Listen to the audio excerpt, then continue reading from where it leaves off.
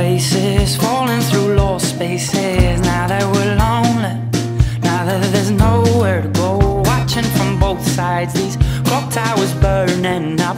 I lost my time here, oh, I lost my patience with it all.